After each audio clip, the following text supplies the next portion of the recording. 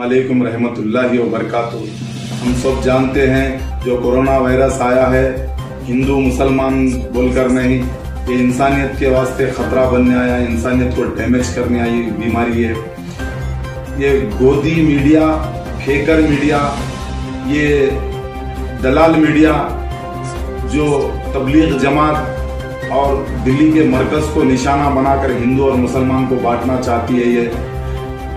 इसके बातों में मत आइए। हमको दो चीज़ को भगाना है, दो बीमारियों को भगाना है हमको। ये दो बीमारी क्या है? कोरोना वायरस, एक गोदी मीडिया को गेट आउट करना है हम लोग को, सबको मिलकर लड़ना है हमारे को। ये जो दिल्ली का जो सीएम है, इससे पहले बच्चे शहीद हुए थे। सब जने जाके बोले, भाई ऐसा ऐसा हो रहा, इंसानियत पे खतरा हो रहा। हमारा ये लाश हो रहा वो तो भाई पुलिस मेरे हाथ में नहीं है। मेरे को ये नहीं बोलना बोले।